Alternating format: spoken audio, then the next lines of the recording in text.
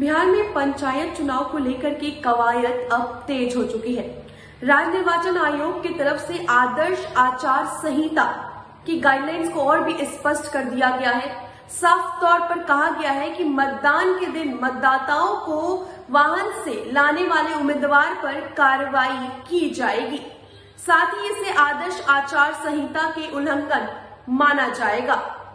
आपको बता दें कि राज्य निर्वाचन आयोग की तरफ़ से साफ़ तौर पर कहा गया है कि किसी भी मतदाताओं को उम्मीदवार की तरफ़ से किसी भी तरह का इनाम या रिश्वत नहीं देना है। अगर फिर भी कोई उम्मीदवार ऐसा करता है तो उस पर सख्त से सख्त कार्रवाई होगी। बिहार में होने वाले पंचायत चुनाव को लेकर राज्य निर्वाचन आयोग ने आदर्श आचार संहिता की गाइडलाइन को और भी स्पष्ट किया है।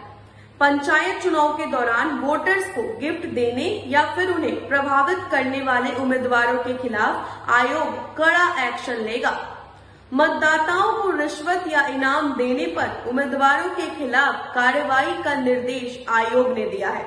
इतना ही नहीं, मतदान के दिन वोटर्स को गाड़ियों से बूथ तक लाने पर भी उम्मीदवारों के खिलाफ कार्रवाई की जाएगी। राज्य निर्वाचन आयोग पर सभी जिलों को आदर्श आचार संहिता का पालन कराने के लिए दिशा निर्देश जारी किया गया है।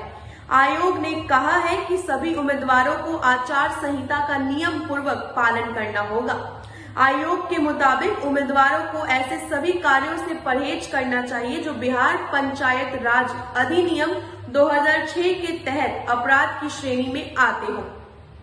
इस अधिनियम के मुताबिक ऐसे कोई भी पोस्टर, पैम्पलेट या बैनर निकालना, जिसमें स्टैंप या प्रकाशक का नाम और पता नहीं हो, उसका इस्तेमाल नहीं किया जाएगा।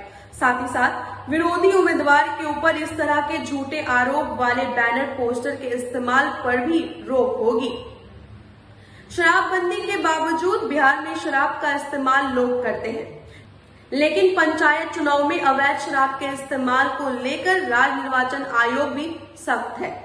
आयोग ने स्पष्ट तौर पर कहा है कि किसी भी उम्मीदवार की तरफ़ से अगर गैर कानूनी शराब खरीदी जाएगी या फिर उसका इस्तेमाल कराया जाएगा तो उन पर कानूनी कार्रवाई की जाएगी।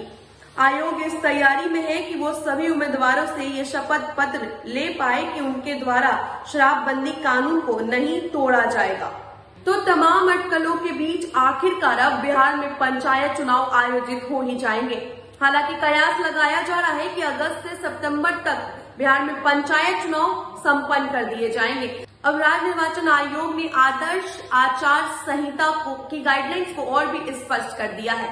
साफ़ तौर पर कहा गया है कि कोई भी उम्मीदवार जो है, किसी भी मतदाता को किसी तरह का रिश्वत या इनाम या गिफ्ट नहीं देगा। अगर कोई ऐसा करता है तो फिर उस पर कार्रवाई की जाएगी। फ़िलहाल इतना ही। आप बने रहें फ़र्स्ट बिहार झारखंड के साथ। धन्यवाद।